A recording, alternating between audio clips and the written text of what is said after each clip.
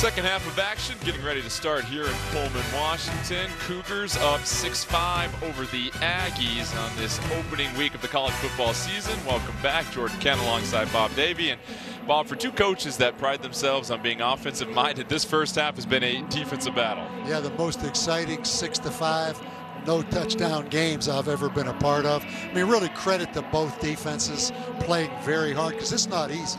Both these offensive spreads it out. Both have exciting skill players. It's a heck of a ball game.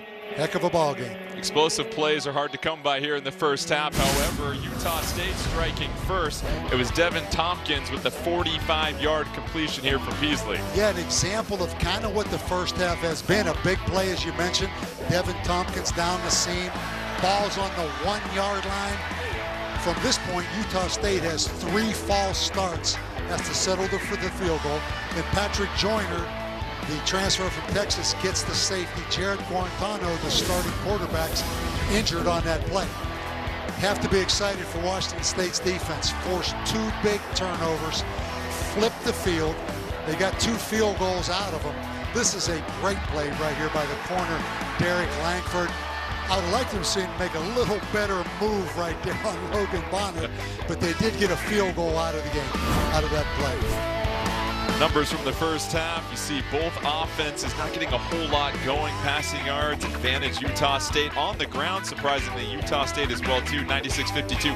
The story's been third down. Both teams have combined 3 of 13. There's going to be some big explosive plays in this second half. I really believe that. If you're Utah State, back to maybe some of the quarterback runs with Andrew Peasley. Uh, for, for Washington State, the other quarterback, Jalen Delora, now is the guy in charge. He's exciting. He can make plays with his legs. Great scrambler, in my opinion. There's a shot of Guarantano on the sideline with that brace now on that left knee, planted awkwardly when he was sacked in the end zone for that safety. So looks like de Laura will still be the man at quarterback for the Cougars. And this time, Looks like Savon Scarver is going to get a chance, and Scarver trying to bounce it around to the outside. He's finally brought down at the 28. So Scarver, the former All-American return man for the Aggies, getting a chance to return his first kickoff of the night. Utah State alternating these two quarterbacks, Andrew Peasley and Logan Bonner. Every series they start with Peasley. I'd go back to some quarterback runs. He had three of them early in the first quarter that were very explosive plays. Peasley 2 of 5 for 50 yards through the air. On the ground, though, three rushes, 42 yards.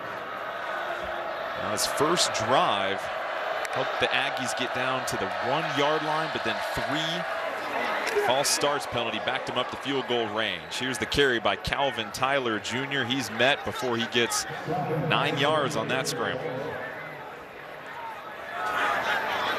Interesting to see if both teams will commit a little bit more to the run in the second half. Utah State comes out here playing with a tight end in the game rather than four wide receivers.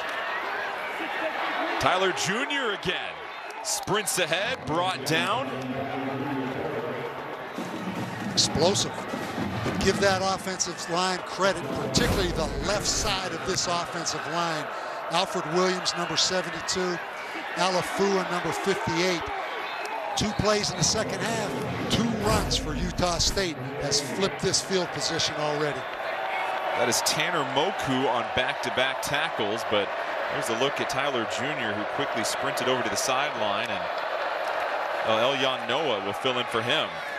A third consecutive run for the Aggies, and after not getting much on the ground in the first half, here they are to start the second and half. All to the left side. You know, that big offensive tackle, Alfred Williams, six foot seven, 320 pounds. He's played a lot of football for Utah State.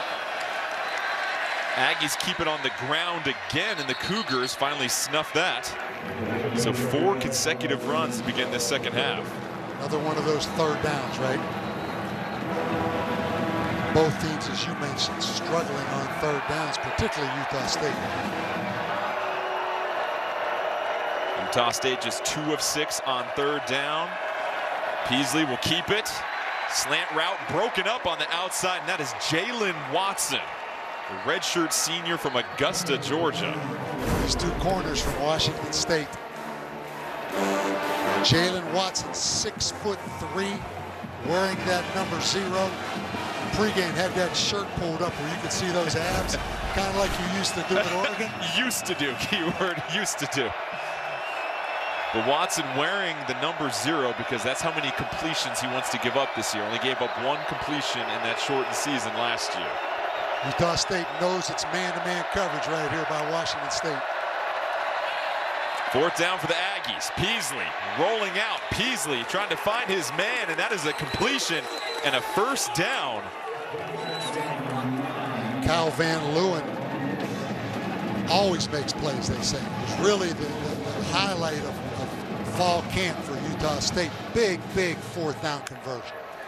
So the chains continue to move. Peasley able to use his arm that time.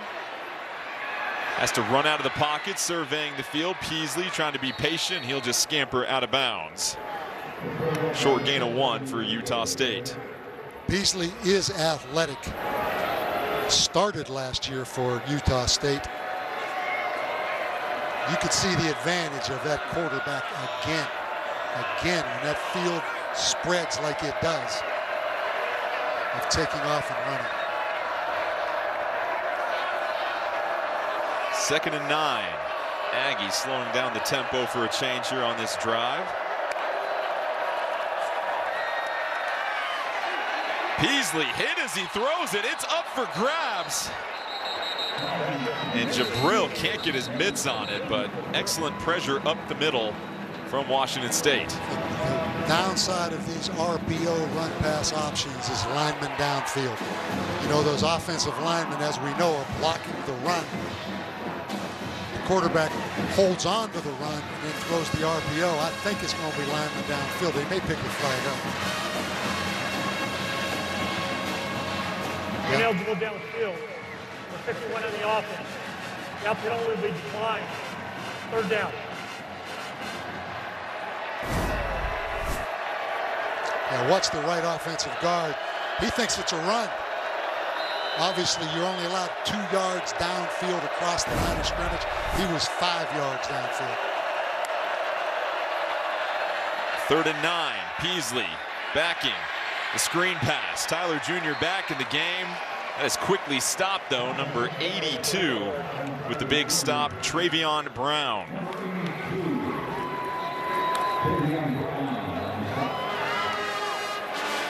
So both defenses, Bob, doing what they set out to do, forcing the other yeah, team I to kick. That's a great point. And both offenses settling for field goals.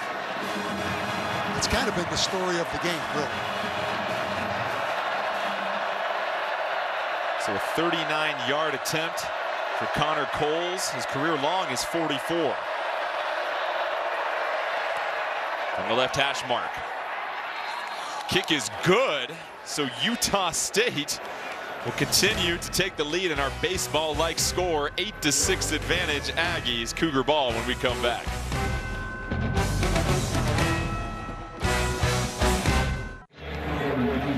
10 plays, 50 yards, resulting in a 39-yard field goal for the Aggies as they take a two-point advantage over Washington State. It's been a busy day here in the conference as the Pac-12 has faced off against the Mountain West in four separate games. Here's the result of the other three. Oregon getting a narrow victory over Fresno State 31 to 24. Anthony Brown going for 172 yards and a touchdown. USC versus San Jose State, no problem for the Trojans, 30 to 7. Kedon Slovis was excellent, 263 yards and two touchdowns. Right now, though, Nevada up 22-14 over Cal in the third quarter, and we'd be remiss not to mention the huge victory for the UCLA Bruins, 38-27 over LSU as Harris will bring this one out. Harris tripped up at the 32, but there's a flag on the play. He is explosive. Unfortunately for Washington State, they're going to start with very poor field position because of the penalty.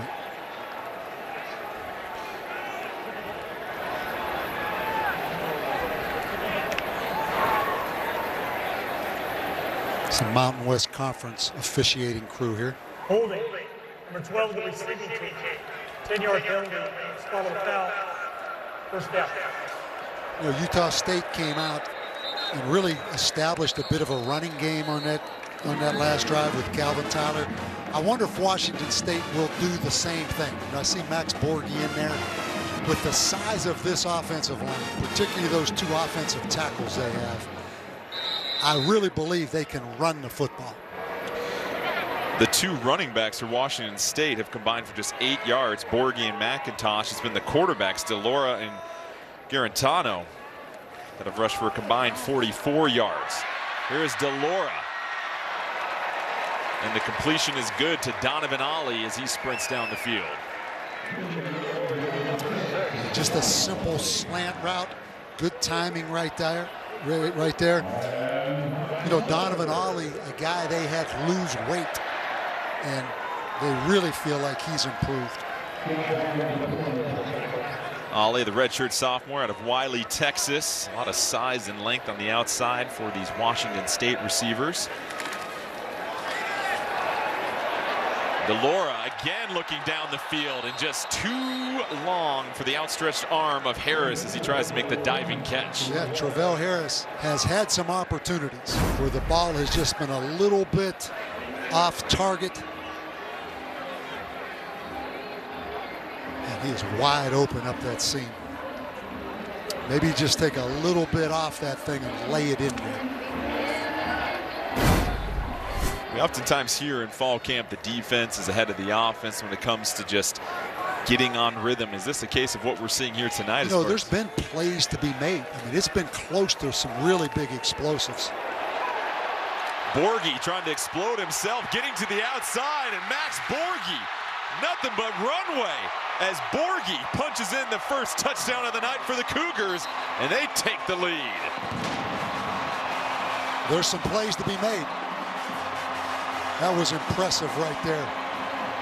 64 yards on the run for Max Borghi, a game-breaking carry. 64 yards untouched. You're going to see the corner, I believe, Zahodri Jackson, number four, makes a critical mistake, gets caught inside right there, excuse me, number 14, and then Max Borghi shows that explosiveness down the sidelines.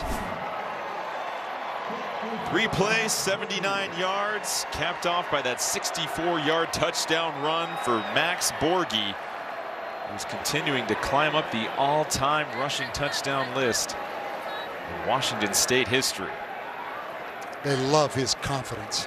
They say he's one of the most confident players this coaching staff has ever been around. He was hurt for their first three games last season and played against Utah, one of the better defenses in this conference. And coaching staff saying there's just a different type of confidence in the huddle when Max Borghi is in there, and it just really spreads to the other players. So Borghi now the leading rusher for the Cougars, seven carries, 70 yards. Janikowski for the extra point.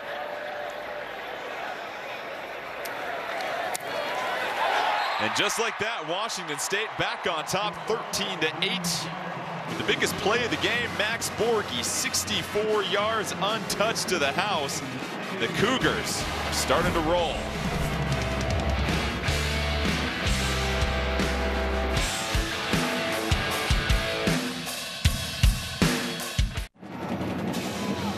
Max Borghi, 64-yard touchdown, the longest run of his career, puts the Cougars on top 13 to 8. You see him chopping it up with Renard Bell. Their leading receiver tore his ACL prior to the season, but nothing but smiles on the sideline for Washington State as they regain control of this game and just the joy, the camaraderie that the Cougars have yeah, been and pulling for each other. I mean, these kids spend so much time together you know, all through the COVID thing, spending all summer here, every summer. Just nice to see guys enjoying each other's success. Cougars continue to try and keep it away from Savon Scarver, but this is Deven Thompkins who's trying to make some business with that. Quickly wrapped up, but one more look at Max Borghi who opens up this game. Yeah, bounces it outside. No containment by Utah State. Again, you see the corner gets caught inside. And just like that, just like that, there are so many big plays to be made in these spread offenses with the amount of space in there. So Borghi getting closer and closer to the all-time career rushing touchdown number at Washington State. That number 33 by Steve Broussard seriously in jeopardy this season. Borghi continues to do things at this pace. Logan Bonner back in at quarterback. Another productive run on first down for the Aggies. But back to Borghi, just his versatility, of course, on the field, but what he means to this team off the field. He dealt with that injury for all of last year except the game against Utah, and you've been around players like this. You need someone that everyone can rally around when you're facing some adversity. Yeah, just look at those shots we've just shown on the sidelines. He energizes everybody. And that's what the coaches said. I mean, he is confident, borderline cocky, but the other players respond to him. John Gentry, the running back for Utah State. They are certainly going by committee. We've seen three different backs carry it here tonight. He lunges forward for the first down. When you run the football, you slow the tempo down a little bit. You know, it's hard to go really, really fast and be able to block all those fronts. Utah State's kind of slowed down here, relied a little bit more on the running game, and now come back with the RPO. Bonner can't complete it to Derek Wright. Bounces off his forearms. That'll bring up second down for the Aggies.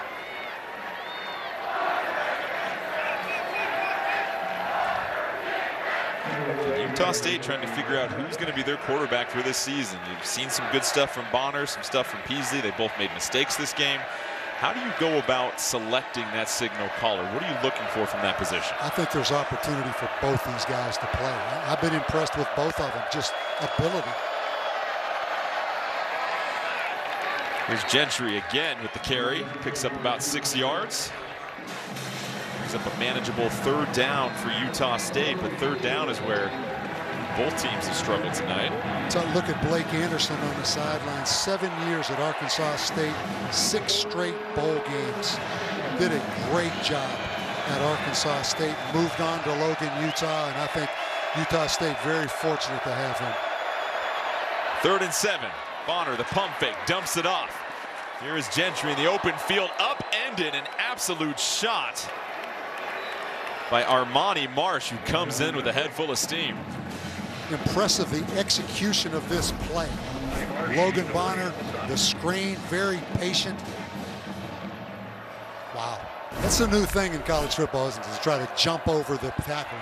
I was always told don't leave your feet. Sometimes it looks good, sometimes it looks awful. More oftentimes than not is the latter result as Gentry stopped. You know, and if anybody was going to do it, was you, right? Basketball player, track athlete, football player. I mean, you're the guy that's going to be able to do all those things. Well, see, I stayed away from the hurdles. I didn't like obstacles in my way as Bonner rolls to his left, and what a dart outside to McGriff who gets the completion, but there is a flag on the play.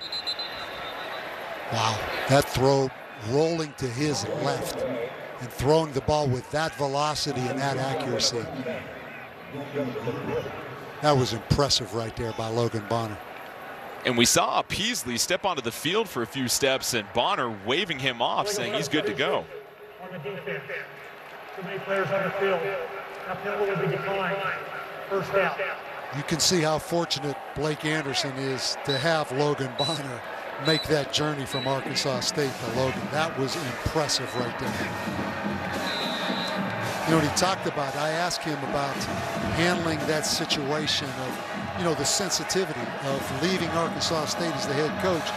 And I think four of these Arkansas State players following him, but you know he handled that the right way. I mean, they were leaving Arkansas State regardless.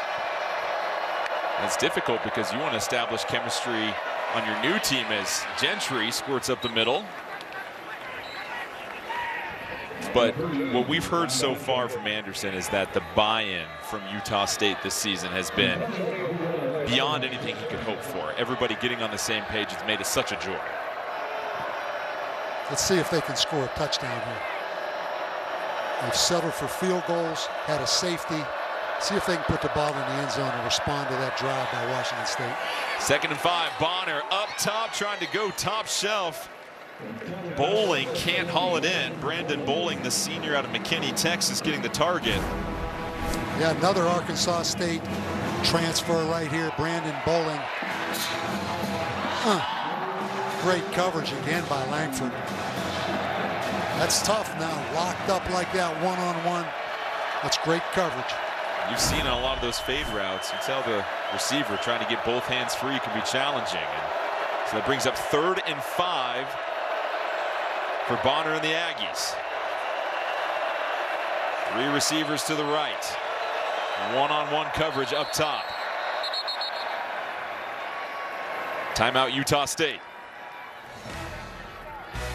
Aggies trying to match the touchdown from the Cougars from the previous drive here in Pullman.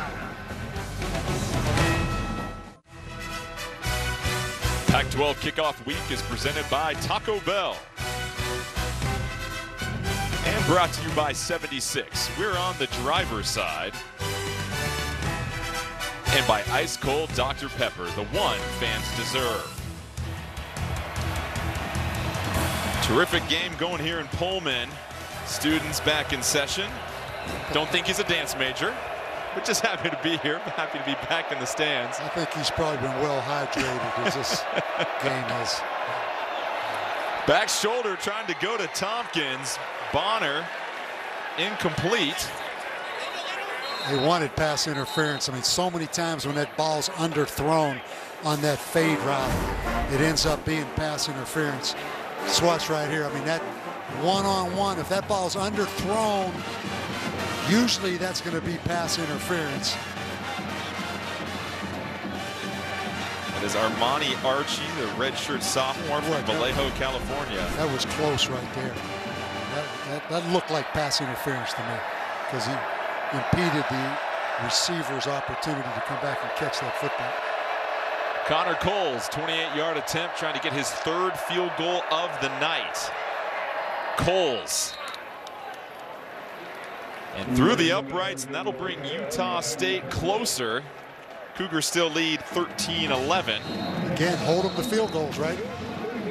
They're moving the ball, Utah State, but they're settling for field goals. Third field goal of the game for the Aggies. They have that safety also, a safety in which starting quarterback for Washington State, Jarrett Guarantano. Talk about two characters, right? From Mike Leach to Nick Rolovich. And I, I think back, this is my first time to Pullman. This is really, really a great little college town. I think back to all the six Mike, Mike Price had here at Washington State, but two personalities, Mike Leach and Nick Rolovich. And terrific facilities here as we walk around and just the way, again, this community revolves around everyone. And Rolovich, as you said, leads the way for this team. This is why this team is having a lot of fun this year, a lot of confidence. And if you think about how difficult his first year was last year, only playing four games, you had two games that were canceled at the last minute. They were on the field warming up against Cal for a Cal player tested positive and that game was canceled and on their way to a game against Stanford on the bus that game was canceled as well too so the Cougars just happy to be playing football as Harris will take this kick out also. Harris trying to weave through some traffic. Nice return up to the 31 yard line. You go back to Nick Rolovich in Washington State. They really do need to win these first two football games. You know they have Utah State here at home. Uh, I believe they get Portland State next. They need to win the first two going into that Pac-12 schedule. And I really do think that's why he made this decision uh, to go with Jarrett Guarantano at the quarterback position because just solid, no mistake football. You should be able to beat Utah State in Portland State. And Jayden de Laura has been solid tonight. He's helped extend some plays with his legs. This time, fakes the handoff to Borghi. It's Calvin Jackson Jr. making the catch, picking up a few yards afterwards. So Jackson Jr. starting to rack up the receptions after getting a little bit of experience last year. You mentioned the schedule for Washington State, a tough pairing of Pac-12 South opponents that they have to face off against after this matchup against Portland State next week. USC and Utah in consecutive weeks. Just be 2-0 somehow. Borghi sprinting to the outside. Again, cut that- by Shaq Bond. that's too easy. You know, I think Utah State's defense has really played well tonight. But again, no edge on the defense. Borghi untouched for six yards. Keep him in the box. Keep him between those tackles. Don't give him that short, fast corner. And he just has such terrific burst as soon as he gets the handoff. No wasted motion.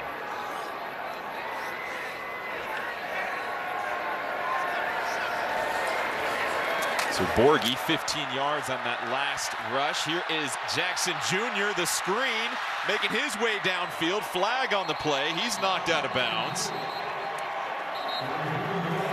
So Zahodri Jackson with the contact at the end of the play. That's coming back. That's a hold, one of the big linemen out there in front of that jailbreak screen. Number 88 for the offense. 10-yard penalty for the spot of the foul. First down. No, actually, De'Zhaun Stribling, the freshman wide receiver, gets called. Injury timeout. We have a Utah State player down on the field near the sideline. That's number four, Shaq Bond, being tended to at the moment. Another one of those super seniors, Shaq Bond.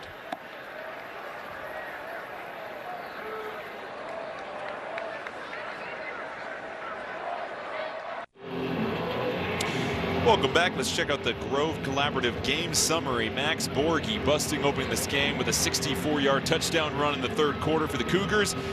Jarrett Guarantano leaving the game with an injury in the first quarter when he took a safety. And as far as turnovers go, the Cougars have been flawless. Meanwhile, Utah State, a fumble and an interception as the Cougars continue to cling on to a two-point lead and they have possession.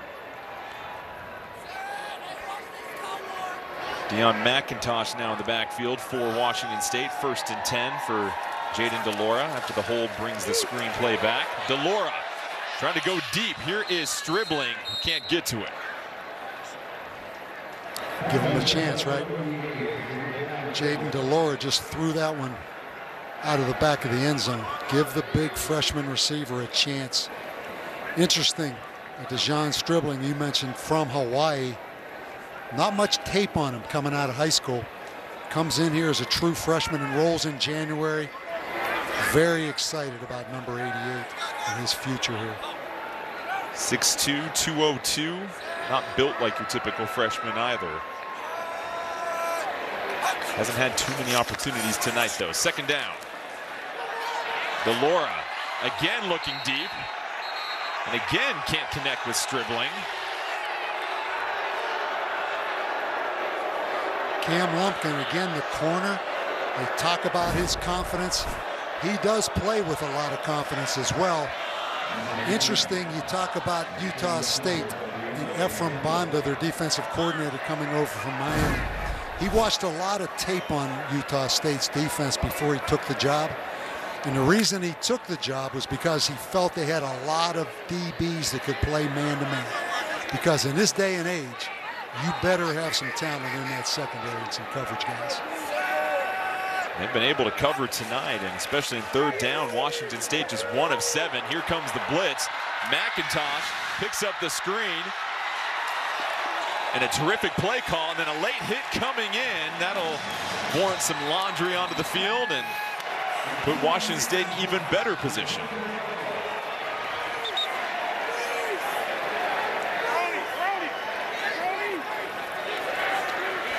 Third and long. Come with the screen pass to McIntosh. After the play, personal foul, late hit out of bounds, number 23 of the defense. That penalty will be enforced half the distance to the goal. Automatic first down.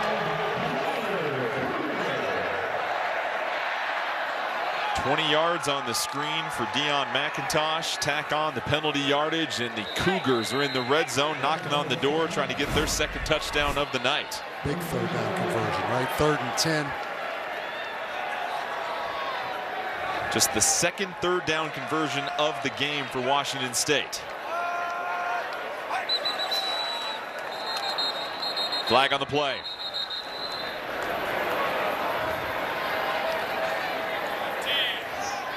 False start against Washington State.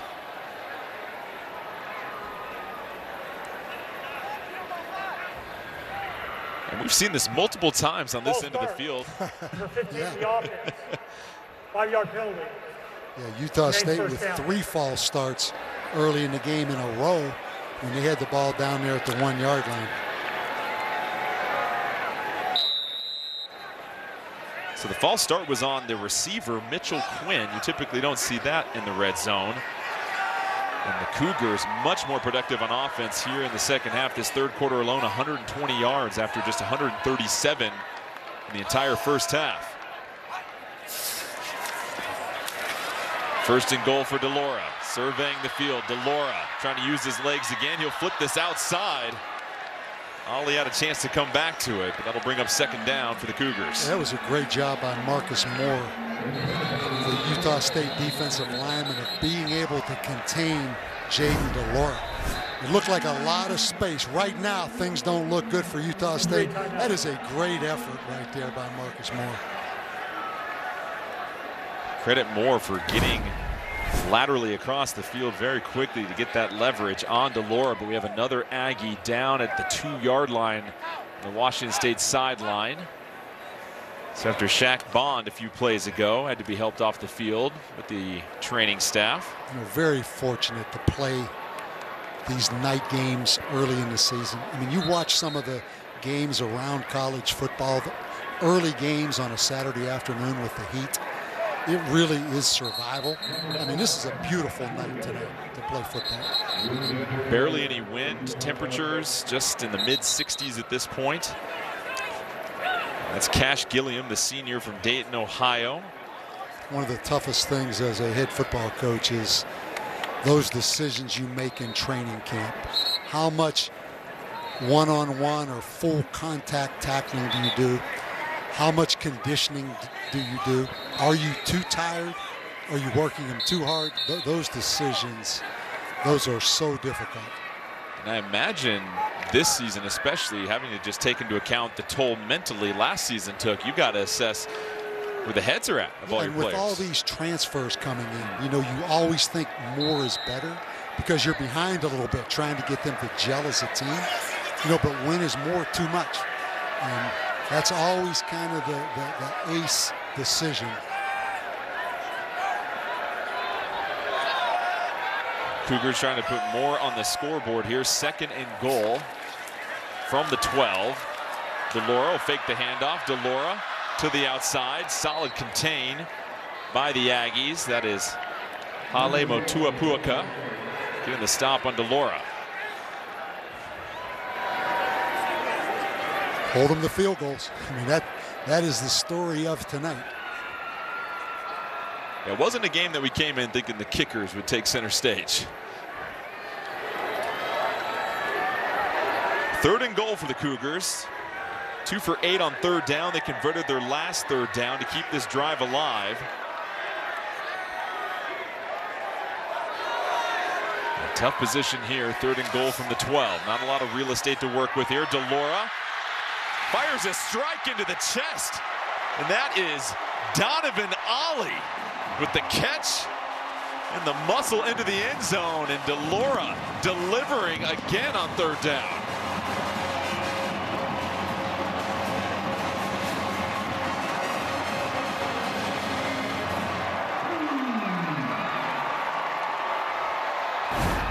Perfectly executed slant route here. Let him inside.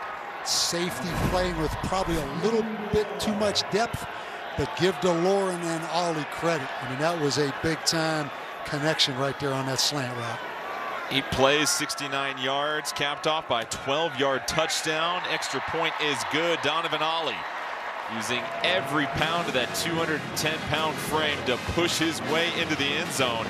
And the Cougars Three straight scoring drives trying to open this game up. They now lead by nine. and Back-to-back big-time third down conversions for de Laura right there. Big-time physical play when the Cougars needed it the most.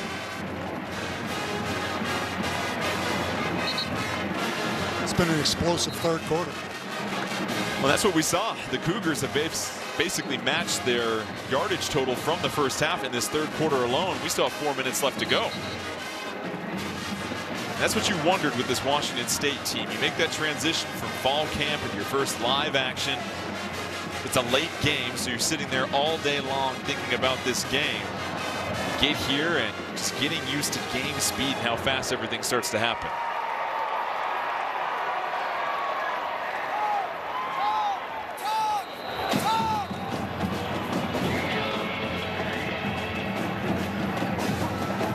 Just fun to watch these players knowing how much they put into this, see the enjoyment they have. both these teams really trying to turn things around from last season. Such a departure from where they were at a few years ago as Scarver's going to get a chance here. And Scarver and a terrific open field tackle by the Cougars special teams unit. Excellent job of making Scarver go east and west and go sideways. And an excellent tackle by Lincoln Victor, the wide receiver, not afraid to stick his nose in there. Good placement on the kick, too. Kind of pinned him on the sideline. Scarver tried to take it back to the middle of the field. You know this. This is a play that a lot of fans will watch and see that open field tackle and think, nice job. That'll light up the special teams me meeting Absolutely. when they meet the next week. Peasley back in at quarterback. Connects with Derek Wright on the sideline. Impressed with Peasley's arm strength as well. Well, Peasley really put himself in a position to challenge for this spot in the offseason. His work ethic, his approach, really leading by example, even trying to be more vocal as he hands it off to Calvin Tyler Jr. Tyler Jr. in the middle of a career night. Now up to 10 rushing attempts.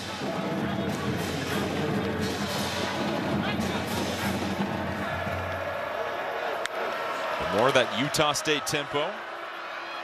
Tyler Jr. again getting upfield. Brought down just inside the 30. Still waiting to see Peasley with a quarterback run. Either zone read or predetermined quarterback run. Peasley trying to push the pace. He'll glance over to the sideline for some instructions. Second and eight for the Aggies. Under center. First time we've seen that all night. Peasley drops back. And another catch on the outside. Derek Wright starting to get busy tonight.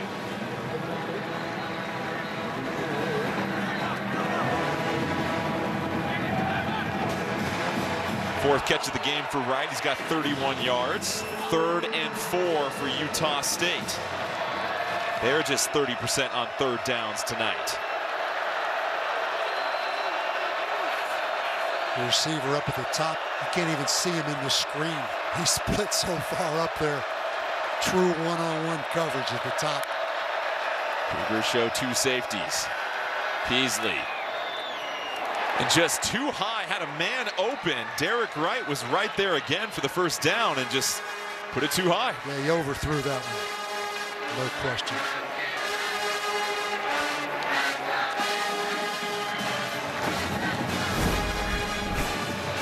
He's going to sit down right in the middle of this zone defense.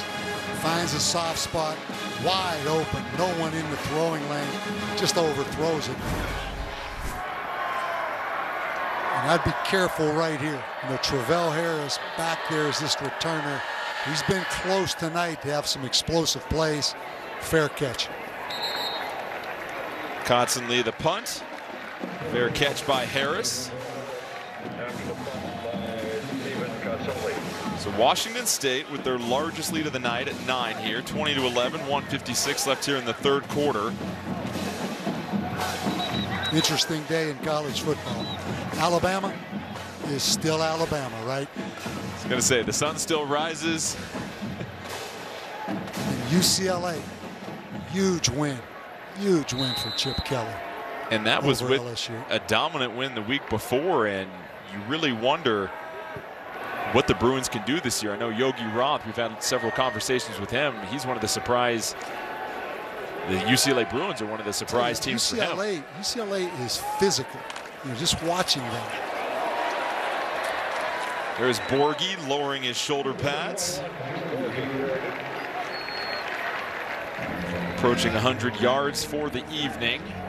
Had that 64-yard touchdown to open this game up for Washington State. The first touchdown score of the night, actually, early in the third quarter. We haven't talked much about Washington State's offensive tackles, but those two offensive tackles, Abraham Lucas 72, Liam Ryan 63, they are giants now.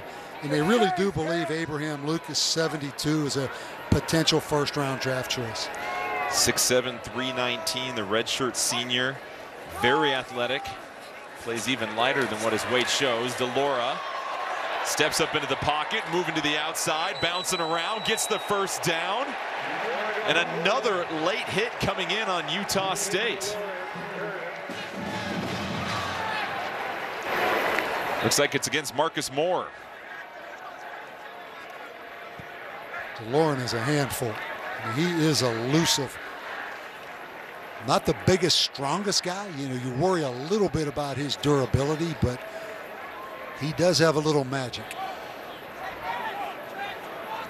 I thought last year in their last game against Utah, wait on this call right here, which is a late hit. Personal foul, late hit, number 95 in the defense. 15 yard penalty will be added to the end of the run. But I thought DeLorean in that first half against Utah last year showed what his potential is. Yeah, that's a good call. I think that's the word with de Laura. It's potential. You see the athleticism, you see the escapability, how we can turn nothing into something. It's just connecting on some of those fundamental throws that have been there tonight for him. He's so young, though you know, he came in last year as a freshman. I mean, he's just he's just getting started. So there needs to be some patience with him, but the upside is outstanding. de Laura, the sophomore from Honolulu, again rolling to his left, firing a laser down the field, and that is picked off. Cam Lampkin wrestling on the sideline. Flag on the play, though. Be interesting to see which way this one goes. That's pass interference on Lampkin.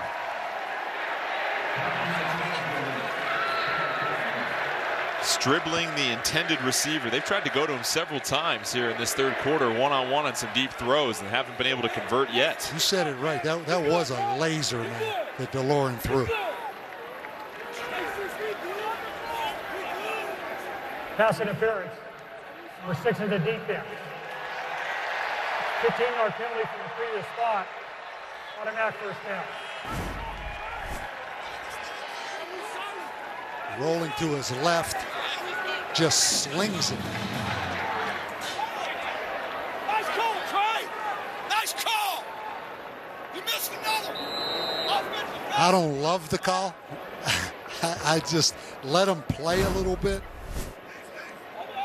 but I was a defensive coordinator coming up through the ranks. As, See, as a former coach, wide receiver, I think it's an excellent call.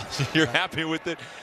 Saw a little bit of a grab with the shoulders beforehand, but those are such difficult bang-bang plays that the officials have to make on those pass interference calls, and pays off just trying to go to Stribling. They get the pass interference. This time they convert on a shorter pass, and Stribling you see the technique, though. Reaches out outside of his frame to snatch that one in, and